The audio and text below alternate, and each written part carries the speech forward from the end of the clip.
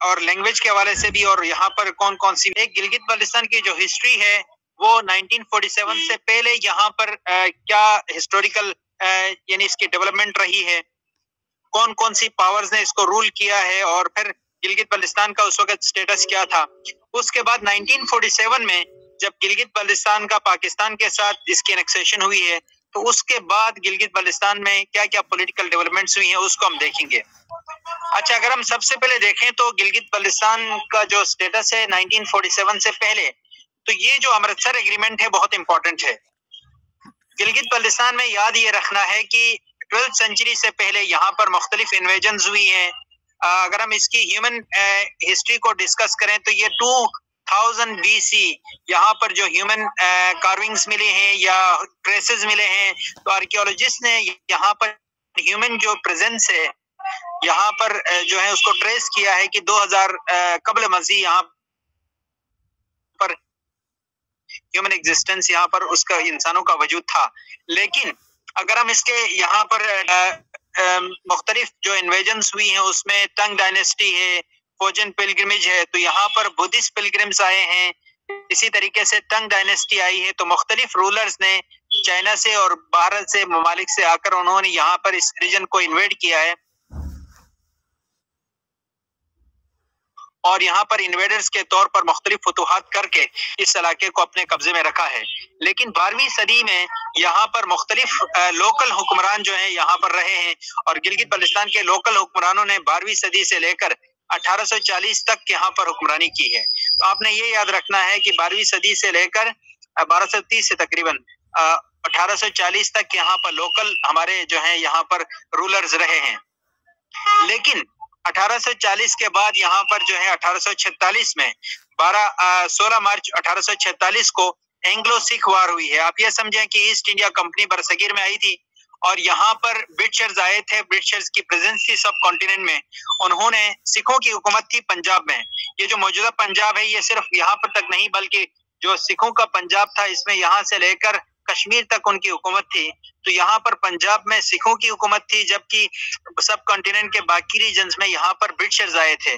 तो इनका एंग्लो सिख वार हुई है, सिखों और ब्रिटिशर के दरमियान जब वार हुई और सिखों को यहाँ पर डिफीट हुई तो ये जो यहाँ पर जो पंजाब था वो भी ब्रिटिशर के अंडर गया। तो उस वक्त जो सिखों के, के यहाँ पर गुलाब सिंह थे जिन्होंने ब्रिटिशर के अगेंस्ट न्यूट्रल पॉलिसी अपनाते हुए यानी आप ये समझे कि उन्होंने सिखों के अगेंस्ट अंग्रेज़ों का साथ दिया था।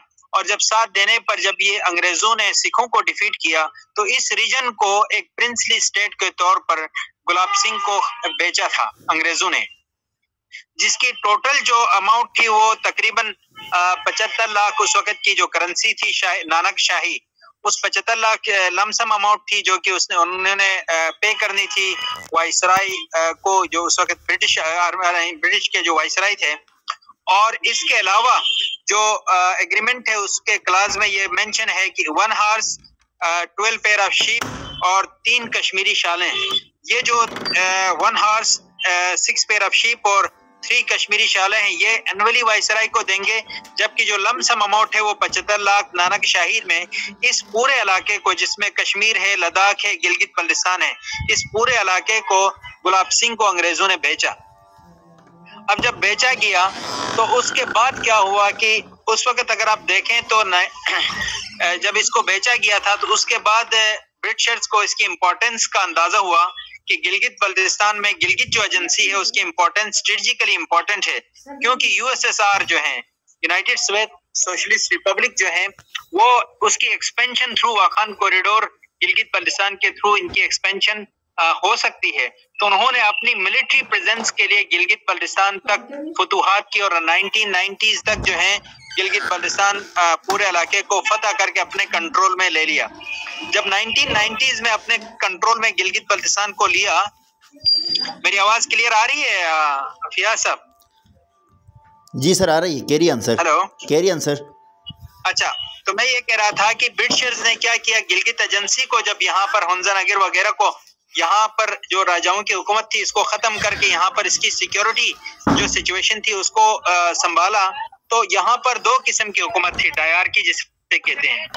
एक तरफ़ सिक्योरिटी लिहाज से जो आर्म फोर्सेस थी वो ब्रिटिशर थी और जो सिक्योरिटी के जो मामला थे वो उन्होंने संभाले थे। जबकि यहाँ पर जो एडमिनिस्ट्रेटिव मामला थे वो डोगरा के अंडर थे। डोगरा जो इसकी सिविल एडमिनिस्ट्रेशन है वो डोगरा के अंडर थी। जबकि जो मिलिट्री एडमिनिस्ट्रेशन थी, या मिलिट्री जो टेक ओवर था, वो ब्रिटिश आर्मी का था। अब ब्रिटिशर ने यहाँ पर अपनी प्रेजेंस इसलिए रखी ताकि यूएसएसआर जो है वाखान कॉरिडोर के थ्रू एक्सपेंड ना कर सके। क्योंकि दो सुपर पावर्स होकर देखें ब्रिटिशर जो है, वो सब कॉन्टिनेंट में थे, जबकि बीच में एक बफर जोन के तौर पर गिलगित बल्तिस्तान एक स्टेट थी, और उसके बाद वाखान कॉरिडोर के थ्रू यूएसएसआर थी। तो इसलिए जो है, यहाँ पर अपनी प्रेजेंस जो है, वो इसकी स्ट्रेटेजिक इंपॉर्टेंस की वजह से दो बड़ी पावर्स को ये ब्रिज कर रहा था ये रीजन तो लिहाजा अपनी प्रेजेंस रखी। साथ में डोगरा को चूँकि ये रीजन बेचा था तो लिहाजा डोगरा की प्रेजेंस भी यहाँ पर थी। एडमिनिस्ट्रेटिव जो इख्तियार थे, वो डोगरा के पास थे। अच्छा अब हुआ क्या कि तीन जून उन्नीस का जो प्लान था, जिसमें सब कॉन्टिनेंट को डीकोलोनाइजेशन हो गई थी। डीकोलोनाइजेशन मतलब ये है कि सेकेंड वर्ल्ड वार के बाद, जब ब्रिटिशर्स को मुख्तलिफ़ जगहों से डिफीट हुई तो उन्होंने डीकोलोनाइज किया, जहाँ जहाँ कॉलोनीज थी, वहाँ से वो अपना रोल बैक किया। तो गिलगित बल्तिस्तान या सब कॉन्टिनेंट जो था सब कॉन्टिनेंट में, जहाँ पर ये गिलगित कॉन्टिनेंट भी उनकी एक कॉलोनी थी तो लिहाजा यहाँ से जब वापस जा रहे थे तो यहाँ पर जब पार्टीशन हुई तो यहाँ पर तकरीबन पाँच सौ चौसठ कुछ किताबों में लिखा है फाइव सिक्सटी फोर कुछ किताबों में फाइव एटी लिखा हुआ है, जो छोटी छोटी प्रिंसली स्टेट्स थी within the subcontinent अब ये जो सब कॉन्टिनेंट के अंदर प्रिंसली स्टेट्स थी, उन प्रिंसली स्टेट को ये ऑप्शन दिया गया कि whether to next with Pakistan और इंडिया कि पाकिस्तान या इंडिया के साथ वो अपनी एनेक्सेशन कर सकते हैं इन्हें किसी के साथ भी अलहाक कर सकते हैं। अब बहुत सारी रियासतें जहाँ पर उनके जो महाराजा थे, वो हिंदू थे उन्होंने, और आबादी हिंदू थी उन्होंने इंडिया के साथ दिया, कुछ ने पाकिस्तान के साथ तो लिहाजा मुख्तलिफ़ जो प्रिंसली स्टेट थी, उनकी डिवीज़न जो है वो ऑप्शन के तौर पर उनको जब ऑप्शन दी गई तो उसमें ये तय पाया कि वो मेजोरिटी तय करेगी कि वो पाकिस्तान के साथ इलाहा करना चाहते हैं या इंडिया के साथ। अब कुछ रियासतें, हैदराबाद, जूनागढ़ वगैरह, यहाँ पर जो रियासतें थी, वहाँ पर देखें कि आबादी जो है वो हिंदू थी, लेकिन कुछ जगहों में लेकिन उसके जो नवाब थे, वो मुसलमान थे, लेकिन वहाँ पर रेफरेंडम हुआ और उसके ज़रिए से उसका डिसीज़न लिया गया। लेकिन कश्मीर के अंदर अगर आप देखें तो 90 परसेंट मुस्लिम हैं, लेकिन यहाँ के जो महाराजा थे, गुलाब सिंह के बाद जो हरि सिंह थे, वो मुसलमान और हिंदू और सिख थे, जबकि यहाँ की जो मेजोरिटी पॉपुलेशन थी, वो मुसलमान थी। उसी फार्मूले के तहत, जिस फार्मूले के तहत बाकी प्रिंसली स्टेट का डिसीज़न हुआ था, उसी फार्मूले के तहत डिसीज़न होता तो यकीनन मेजोरिटी जो पॉपुलेशन थी वो मुस्लिम थी तो वो पाकिस्तान के साथ अलहाक करते लेकिन इस स्टेट की नेचर थोड़ी सी डिफरेंट थी, क्योंकि ये महाराजा की जाती प्रॉपर्टी थी, उसने खरीदी थी। तो लिहाजा क्या हुआ कि जो जब तीन जून उन्नीस के प्लान के तहत पाकिस्तान वजूद में आया तो उसमें जो बाकी प्रिंसली स्टेट थी जिन्होंने इंडिया के साथ तलाक किया उसके बाद 12 अक्टूबर उन्नीस को पाकिस्तान के मैसूर ट्राइब जो है वो आ, कश्मीर में दाखिल हुए जहाद के नाम पर। और ये जो मौजूदा आज़ाद कश्मीर है उसको वहाँ तक उन्होंने इसको शिकस्त देते हुए वहाँ से फौजें पीछे करते हुए उस एरिया को अपने कब्जे में लिया। लेने के बाद अब महाराजा को जब पता चल गया कि यहाँ से जो जहादी यानी कहें कि ग्रुप जो है वो दाखिल हो गया है आज़ाद कश्मीर या इस रीजन को अपने कंट्रोल में ले लिया है तो उन्होंने इंडियन ट्रूप्स को कॉल किया और इंडियन ट्रूप जो है वो यहाँ पर दाखिल हुई है छब्बीस अक्टूबर उन्नीस सौ सैंतालीस को और यानी जो है उन्होंने वहाँ से इंडियन आर्मी को बुलाने के बाद वहाँ उन्हें, उनके साथ जो है समझे कि एक टाइप का इलाहा किया। अब जो मौजूदा मकबूजा कश्मीर या जिसमें हम लद्दाख, जम्मू वगैरह है, वो इंडिया के कंट्रोल में चला गया, जबकि आज़ाद कश्मीर मैसूर ट्राइब के ज़रिए से पाकिस्तान के कंट्रोल में आया, जबकि गिलगित बल्तिस्तान में यहाँ पर, अभी भी देखें कि ब्रिटिशर जब जा रहे थे तो यहाँ पर जीबी स्काउट जिनको भर्ती किया था, यहाँ पर एक्सपेंशन को रोकने के लिए यूएसएसआर के तो ये जो जीबी स्काउट था, इनके अंदर भी खदशात थे कि वापस जाने के बाद यहाँ पर ये महाराजा के अंडर जाएँगे। तो यहाँ पर भी एक तरह की बगावत शुरू हो गई और यहाँ पर गंसारा सिंह को अरेस्ट करके, यहाँ पर गिलगित बल्तिस्तान को यकम नवंबर उन्नीस को उसको आज़ाद किया। आज़ाद करने के बाद यकम नवंबर से लेकर 16 नवंबर तक तकरीबन 16 डेज़ तक ये एक इंडिपेंडेंट स्टेट के तौर पर गिलगित बल्तिस्तान एक रियासत रही है। शारीस इसके सदर थे। तो लिहाजा जब ये बन गया तो उसके बाद पाकिस्तान के पॉलिटिकल एजेंट मोहम्मद आलम यहाँ पर आए और यहाँ के जो पॉलिटिकल पॉलिटिकल जो यहाँ के जो मामला थे उसको संभाला। अब संभालने के बाद अब जिस चीज़ को यहाँ पर पाकिस्तान उसके बाद यूनाइटेड नेशन में ये मामला चला गया जिसको पहले यूनाइटेड नेशन में जब ये मामला चला गया तो उसमें सबसे पहले इंडिया जो है यूनाइटेड नेशन में गया तो वहाँ पर एक यानी क्या कहेंगे एक फोरम तश्कील दिया जिसको यूएनसीआईपी कहते हैं। यूनाइटेड कमीशन एक कमीशन तश्कील दिया गया united commission for India and Pakistan UNCIP के नाम से।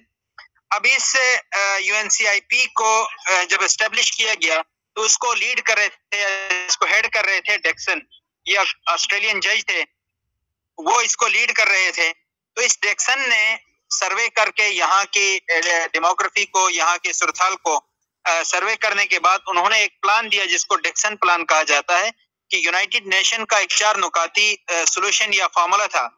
अब इस फार्मूले के तहत उसने चार नुकाती सोल्यूशन दिया है। नंबर वन क्या है कि Pakistan will withdraw its army from the disputed territory कि पाकिस्तान जो है अपनी आर्मी को इस डिस्प्यूटेड टेरिटरी से बाहर निकालेगा। Second India will gradually reduce its army India अपनी आर्मी रिड्यूस करेगा। Third local government will be establish in इस डिस्प्यूटेड रीजन में जहाँ आज़ाद कश्मीर है मकबूजा कश्मीर है और गिलगित बल्तिस्तान है यहाँ पर एक डिस्प्यूटेड जो है इस टेरिटरी के अंदर लोकल uh, लोगों के ज़रिए से इलेक्शन के ज़रिए से लोकल हुकूमतें कायम की जाएँगी। फोर्थ स्टेप पे है कि रेफरेंडम या plebiscite will be held and through the plebiscite it will be decided whether the people of this this region want to next with India और पाकिस्तान कि यहाँ के लोग जो हैं वो रेफरेंडम के ज़रिए से खुद फैसला करेंगे कि वो क्या चाहते हैं। तो लिहाजा ये एक डिक्सन प्लान कहलाता है, जो चार नुकाती फार्मूला है, जो कि समझा जाता है कि एक बेस्ट सोल्यूशन है इस पूरे रीजन का, इस डिस्प्यूटेड रीजन का इस मामले को सेटल करने के लिए सबसे बेहतरीन फार्मूला कहा जाता है। अच्छा इंडिया पाकिस्तान दोनों जो हैं, वो अपने अपने फोरम पर तो इनका स्टांस इंडिया का स्टांस ये है कि ये जो डिस्प्यूटेड टेरिटरी है, ये हमारा टूट अंग है, हमारा एक हिस्सा है। जबकि पाकिस्तान का स्टांस ये है कि एक डिस्प्यूटेड टेरिटरी है, और इसका जो फैसला है, वो अवाम अवाम की उमंगों के तहत, अवाम के रेफरेंडम के ज़रिए से, अवाम को ये हक देना चाहिए, हक खुदरादियत कि वो अपनी किस्मत का फैसला खुद कर सके वोट के ज़रिए से। मेजोरिटी किसको वोट करती है? उसके मुताबिक जो है ये फैसला किया जाए। अगर हम देखें तो टोटल ये जो रीजन जिसको हम कश्मीर डिस्प्यूट कहते हैं, ये जो डिस्प्यूटेड रीजन है, इसका 43 परसेंट जो है वो इंडिया के पास, जम्मू, कश्मीर और लद्दाख की शक्ल में है। 33 परसेंट थर्टी परसेंट पाकिस्तान में, आज़ाद कश्मीर और गिलगित बल्तिस्तान की शक्ल में है। जबकि 20 परसेंट जो है अक्साई चीन और शख्स गम वैली की शक्ल में जो कि चाइना के कंट्रोल में है जिसको नाइनटीन सिक्सटी टू में अयूब खान के दौर में चाइना को गिफ्ट किया गया है। तो ये भी जो रीजन है ये भी आ, कश्मीर रीजन का जो डिस्प्यूट है उसका हिस्सा है जिसमें अक्साई चीन और शख्सगम वैली है। ये भी ट्वेंटी परसेंट है इसी रीजन का जो कि चाइना के कंट्रोल में है। अभी तक जो हमने बात की है वो ये की है कि ये जो आ, स्टेट है डिस्प्यूटेड टेरिटरी है इसकी नवियत बाकी प्रिंसली स्टेट से इसलिए डिफरेंट थी कि ये राजा की मिल्कियत थी, उन्होंने खरीदा था। अब खरीदने के बाद अंग्रेज़ों ने इसको बेचा, अवाम के क्या कहेंगे विशेष के अगेंस्ट बेचा था और ये उसकी जाती प्रॉपर्टी थी और ये उसका इख्तियार था, ये कहा जाता है। लेकिन क्योंकि यहाँ के लोगों को उस वक्त जुल्म और बर्बरियत के ज़रिए से यहाँ के लोगों को बेचा गया, इनकी टेरिटरी को बेचा गया, जो कि इनके विशेष के अगेंस्ट था और ये लोग हमेशा कश्मीर के लोग यहाँ पर इनके खिलाफ लड़ते रहे। और गिलगित बल्तिस्तान का स्टांस है कि हमने खुद डोगरा राज को कुल्हाड़ियों से भगाकर इस इलाके को आज़ाद करवाया है। लिहाजा हमने अपनी किस्मत का फैसला खुद करना है। अब जब गिलगित बल्तिस्तान का पाकिस्तान के साथ अलहाक हुआ था, यहाँ के लोगों की विशेष थी कि एक ऐसी स्टेट एक ऐसी इस्लामी रियासत आपकी वेसिनिटी में बनी है तो लिहाजा हम उसका हिस्सा बने। और गिलगित बल्तिस्तान के लोगों की यही विश रही है कि वो एक फिफ्थ के तौर पर एक पाँचवें सूबे के तौर पर पाकिस्तान का हिस्सा बने। लेकिन क्योंकि ये यूनाइटेड नेशन की यूएनसीआईपी की करारदादों में इसको एक डिस्प्यूटेड टेरिटरी के तौर पर पाकिस्तान ने एक्सेप्ट किया है, लिहाजा जब तक इस मसले को क्योंकि अमृतसर एग्रीमेंट के तहत ये राजा की जो प्रिंसली स्टेट थी, उसका ये हिस्सा रहा है तो लिहाजा हम कश्मीर इशू का हिस्सा रहे हैं। हमारी बारहवीं सदी से जैसा कि मैंने स्टार्ट में कहा था कि ट्वेल्थ सेंचुरी से लेकर 1840 तक यहाँ पर लोकल हुकूमतें रही हैं। हमारा जोग्राफिया हमारा कल्चर हमारी हिस्ट्री हमारी एक अपनी एक आइडेंटिटी रही है। हमारा कोई लिंग्विस्टिक कनेक्टिविटी हमारी कल्चरल या हिस्टोरिकल कोई कनेक्टिविटी कश्मीर के साथ नहीं रही है, या कश्मीरियों के साथ। लेकिन 101 साल जो गुलामी के रहे हैं एक प्रिंसली स्टेट के अंडर हम डोगरा राज के अंडर रहे हैं। इस वजह से हम कश्मीर इशू का हिस्सा ज़रूर हैं। कश्मीर का हिस्सा नहीं है। अब जब तक इस कश्मीर का इशू का हिस्सा है तो जब तक ये मामला सेटल नहीं होता है तो लिहाजा गिलगित बल्तिस्तान को एक फिफ्थ प्रोविंस के तौर पर क्योंकि पाकिस्तान खुद यूनाइटेड नेशन के यूएनसीआईपी में ये एक्सेप्ट कर चुका है कि एक डिस्प्यूटेड टेरिटरी है तो लिहाजा इसको कॉन्स्टिट्यूशनल स्टेटस तो नहीं दे सकता। लेकिन आ, इसको मैक्सिमम क्या दे सकता है? कौन सा सेटअप फिजिबल रहेगा? आप ये सवाल है। यहाँ तक बात समझ आ रही है? कोई एक माइक ऑन करके जरा बता दीजिएगा। हेलो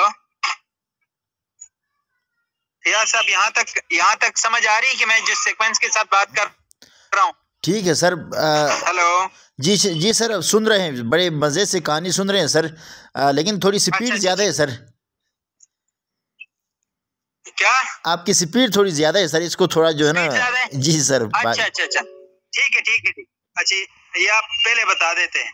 तो मैं बात ये कर रहा था कि United Nation UNCIP United Nation commission for India and Pakistan ये जो कमीशन बनाया गया था जिसमें इंडिया और पाकिस्तान दोनों जो हैं इस यूएनसीआईपी के रेजोल्यूशन के में यहाँ पर एक्सेप्ट कर चुके हैं कि ये डिस्प्यूटेड टेरिटरी है, जिसमें मैंने ज़िक्र किया कि ये पूरा जो रीजन है, जिसमें 43 परसेंट इंडिया के कंट्रोल में है जम्मू कश्मीर और लद्दाख की शक्ल में, और 37 परसेंट पाकिस्तान आज़ाद कश्मीर और गिलगित बल्तिस्तान की शक्ल में है, जबकि 20 परसेंट चाइना के कंट्रोल में शख्स कम वैली और अक्साई चीन की शक्ल में अब मैंने ये ज़िक्र किया कि गिलगित बल्तिस्तान और आज़ाद कश्मीर पाकिस्तान के कंट्रोल में है जबकि मकबूजा कश्मीर जो है वो और जम्मू और लद्दाख ये इंडिया के कंट्रोल में अच्छा अब पाकिस्तान के अंडर जो डिस्प्यूटेड टेरिटरी है, वो दो हैं।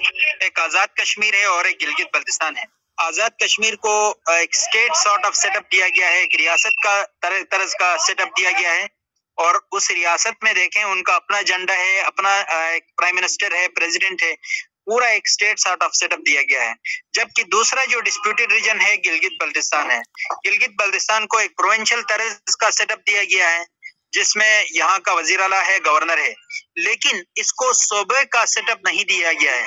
जैसे हम बाकी सूबों की बात करें तो देखें कि सिंध और पंजाब और केपीके की बलोचिस्तान की सेनेट और कौमी असम्बली में सेनेट में इनकी इक्वल रिप्रेजेंटेशन है, जबकि असेंबली के अंदर इनकी पॉपुलेशन के रेशो से यहाँ पर इनकी सीटें हैं। जबकि गिलगित बल्तिस्तान की सेनेट और आपकी असेंबली के अंदर कोई सीटें नहीं है। तो एक प्रोविंशियल सॉर्ट ऑफ़ सेटअप तो दिया गया है, लेकिन प्रॉपरली एक प्रोविंशियल सेटअप नहीं है। तो यहाँ के लोगों के अंदर ग्रीवेंसेस बढ़ रही हैं, जबकि यहाँ के लोग डिमांड कर रहे हैं कि इसको कॉन्स्टिट्यूशनलाइज किया जाए, जबकि इसको आईनी शक्ल भी नहीं दी जा सकती, क्योंकि पाकिस्तान अपना एक स्टांस जो यूनाइटेड नेशन में पुट कर चुका है कि एक डिस्प्यूटेड टेरिटरी है और इसका फैसला अकवा मुतहदा की करारदादों के तहत इसको इसका फैसला होना है और ये रेफरेंडम के ज़रिए से होगा। जबकि मौजूदा सतह पर अगर हम देखें तो ऑक्युपाइड कश्मीर में वहाँ पर उन्होंने 370 और 35 ए को एब्रोगेट करके वहाँ पर सब्जेक्ट स्टेट सब्जेक्ट रूल को खत्म किया है और वहाँ पर जो है उस एरिया को अपने कंट्रोल में कॉन्स्टिट्यूशनल फ्रेमवर्क में इंडिया ने लाने की कोशिश की है against the resolution of United Nation अच्छा अब पाकिस्तान, गिलगित बलिस्तान को मैक्सिमम क्या दे सकता है? इस हवाले से मैं बात कर रहा था। मौजूदा सूरत हाल में आपने देखा होगा कि ये जो अभी गंदम सब्सिडी के हवाले से यहाँ पर प्रोटेस्ट चले तो उसमें मुख्तलिफ़ स्पीचेस में बताया गया कि मौजूदा जो गवर्नेंस ऑर्डर है 2009 का। इसको कॉन्स्टिट्यूशनलाइज किया जाए। सेनेट में हमारी इक्वल रिप्रेजेंटेशन और असेंबली में हमारी पॉपुलेशन के रेशो से हमारी रिप्रेजेंटेशन दी जाए और इसके अलावा एनएफसी में शेयर दिया जाए, तमाम मालियाती इदारों में हमारी रिप्रेजेंटेशन हो। इस तरह की आवाज़ उठी है। गिलगित बल्तिस्तान को कॉन्स्टिट्यूशनल फ्रेम के अंदर तो मैंने आपको बताया कि नहीं लाया जा सकता एक सूबे की शक्ल में। क्योंकि एक डिस्प्यूटेड टेरिटरी पाकिस्तान के स्टांस में शामिल है तो ये एक मुतनाज़ खत्े का हिस्सा है। लिहाजा इसको आईनी हैसियत तो नहीं दी जा सकती है। लेकिन इसकी पॉलिटिकल डेवलपमेंट क्या हुई है? पहले मैं इसको ज़िक्र करके इसके सोल्यूशन की तरफ़ जाऊँगा। उन्नीस से लेकर उन्नीस चौहत्तर तक 1974 तक गिलगित बल्दिस्तान एक गिलगित एजेंसी के तौर पर रहा और इसको एफसीआर के थ्री, थ्रू ट्रीट किया गया। जबकि 1974 में भुट्टो के दौर में यहाँ पर एक एडवाइजरी काउंसिल यहाँ पर एस्टेब्लिश हुई और इस एडवाइजरी काउंसिल के बाद आहिस्ता जो पॉलिटिकल डेवलपमेंट्स हुई जिसका मैं ज़िक्र करूँगा 1994 में नॉर्दर्न एरिया लेजिस्लेटिव काउंसिल वजूद में आई थ्रू एलएफओ एलएफओ के ज़रिए से नॉर्दर्न एरिया लेजिस्लेटिव काउंसिल बनी है, जबकि मुशरफ के दौर में 2007 में नॉर्दर्न एरिया लेजिस्लेटिव असेंबली वजूद में आई। तो ये मुशरफ के दौर में था। उसके बाद 2009 का GB self governance and empowerment order Pakistan Peoples Party ने ये रिफॉर्म किए थे। पॉलिटिकल रिफॉर्म जिसमें गिलगित बल्तिस्तान नॉर्दर्न एरिया का नाम तब्दील करके गिलगित बल्तिस्तान का नाम दिया गया इस रीजन को। और उसके साथ साथ असेंबली में 33 मेंबर्स हैं और ये 30 61 आर्टिकल्स पे ये लेजिस्लेशन कर सकते हैं। जबकि कौंसल के छह मेंबर हैं गिलगित बल्तिस्तान से। इसके अलावा जो है कश्मीर के कश्मीर अफेयर के मिनिस्टर और गवर्नर और प्राइम मिनिस्टर मिलाकर ये नाइन मेंबर बनते हैं और इनको थर्टी, फिफ्टी फाइव आर्टिकल पे लेजिस्लेशन की जो है पावर दी गई है। अब गिलगित बलिस्तान के लोगों की डिमांड्स क्या हैं? इसमें एक और चीज़ जो मैं ऐड करता चलूँ कि हमने जो इलाहाक गिलगित बलिस्तान के लोग दावा करते हैं कि हमने इलाहाक किया पाकिस्तान के साथ उसकी कोई प्रॉपर डॉक्यूमेंटेशन या डॉक्यूमेंट्स तो नहीं है। लेकिन पाकिस्तान जिस बुनियाद पर गिलगित बलिस्तान को अपना रीजन तस्वुर करता है, जिसकी बुनियाद पर इंतजामी मामला अपने कंट्रोल में रखे हैं, वो है अट्ठाईस अप्रैल उन्नीस का कराची एग्रीमेंट ये जो कराची एग्रीमेंट था, ये सरदार मोहम्मद इब्राहिम और चौधरी गुलाम अब्बास ये कश्मीर के पॉलिटिकल रहनुमा हैं और उसके साथ साथ मुश्ताक गुरमानी पाकिस्तान के काना के यानी कश्मीर अफेयर के जो मिनिस्टर थे उन्होंने मिलकर एक एग्रीमेंट किया है, जिसको कराची एग्रीमेंट के नाम से याद रखा जाता है। और गिलगित बलिस्तान की तारीख में हम इसको एक सियाबाब के तौर पर लेते हैं। जब भी अट्ठाईस अप्रैल आता है तो यहाँ पर हम इसको एक सियाबाब इसलिए कि हम कहते हैं कि हमने पाकिस्तान के साथ जो एफिलिएट किया है, हमें उस बुनियादों पर तस्लीम किया जाए। कश्मीरी हमारी ज़िंदगी का फैसला कैसे कर सकते हैं? जैसा कि वहाँ के दो रहनुमाओं ने यहाँ के एक मिनिस्टर के साथ, पाकिस्तान के मिनिस्टर के साथ मिलकर ये इलाहा किया और ये कहा कि भाई, जब तक कश्मीर का मसला हल नहीं होता है गिलगित बल्तिस्तान के इंतजामी उमूर आप संभालें। तो अब यहाँ पर ये स्टांस दिया जाता है यूनाइटेड नेशन में कि क्योंकि कश्मीर के लोगों ने खुद गिलगित बल्तिस्तान को हमारे हवाले किया है इंतजामी उमूर तो लिहाजा इस बुनियाद पर पाकिस्तान गिलगित बल्तिस्तान के इंतजामी उमूर संभाल रहा है। हालाँकि ये जो है गिलगित बल्तिस्तान के लोग ये कहते हैं कि हमारा कश्मीर के साथ कोई मामला नहीं है। हमारी तारीख अपनी है, हमारी अपनी शिनाख्त, हमारा अपना कल्चर हमारी अपनी एक हिस्ट्री रही है। और हमने खुद बगावत करके जब पाकिस्तान के साथ एफिलिएट किया है तो हमें उन कुर्बानियों की बुनियाद पर हमें तस्लीम किया जाए और हमारी शिनाख्त को तस्लीम किया जाए और हमें वो हकूक दिए जाए जो दिगर शोबों को हासिल हैं। लेकिन चूँकि मैंने आपको पहले भी बताया कि एक डिस्प्यूटेड टेरिटरी है तो what maximum Pakistan can grant तो ये सवाल ये है कि अगर इस ये डिस्प्यूटेड है आज़ाद कश्मीर का, मकबूजा कश्मीर का, आज़ाद कश्मीर का या कश्मीर काज का हिस्सा है तो उसका एक हिस्सा है तो लिहाजा मैक्सिमम क्या दिया जा सकता है? मैक्सिमम ये दिया जा सकता है कि एक ऑनरेरी स्टेटस दिया जाए, जिसमें गिलगित बल्तिस्तान की सेनेट में बाकी सूबों के बराबर इक्वल रिप्रेजेंटेशन हो, और कौमी असम्बली में यहाँ की पॉपुलेशन के रेशो के मुताबिक कुछ सीटें दी जाए एनएफसी में इसका शेयर दिया जाए इसके साथ साथ जितने भी मालियाती कमीशन हैं, वहाँ पर पाकिस्तान की गिलगित बलिस्तान की रिप्रेजेंटेशन हो और उसके साथ साथ गिलगित बलिस्तान के जितने भी रिसोर्सेस हैं, उसमें उनकी रॉयल्टी उनको देनी चाहिए। यहाँ पर वाटर है दरिया सिंह की शक्ल में, यहाँ पर वाइल्ड लाइफ है, यहाँ पर मिनरल्स हैं, यहाँ पर जो हमारी पीक्स हैं, उस पर जो है और केकेज की शक्ल में हम एक वर्ल्ड नेशनल इंटरनेशनल रूट हम प्रोवाइड करते हैं। इसमें टैक्सेशन जो है वो उसकी जो रॉयल्टी है या उसके बाद में जितना भी यहाँ पर पैसा आता है उसमें गिलगित बलिस्तान को शेयर दिया जाए। और सी पेक चूँकि एक गेट वे की हैसियत रखता है यहाँ पर जितने भी इकोनॉमिक जोन बन रहे हैं उसमें गिलगित बलिस्तान पे यहाँ पर बनने चाहिए और उसकी आ, उसमें जहाँ पर जितनी भी इन्वेस्टमेंट होती है उसमें गिलगित बल्तिस्तान को जो रेवेन्यू जनरेट होता है उसमें उनको एम्पावर करें।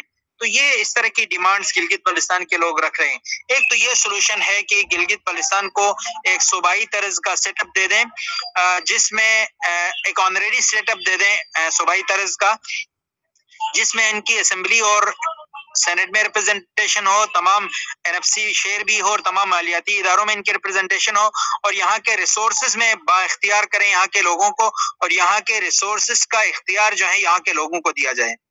अच्छा और यहाँ की रॉयल्टी भी उस यहाँ के लोगों को दी जाए रिसोर्सेज की। दूसरा पॉसिबल सोल्यूशन क्या हो सकता है? फिया साहब आप ठीक जा रहा हूँ?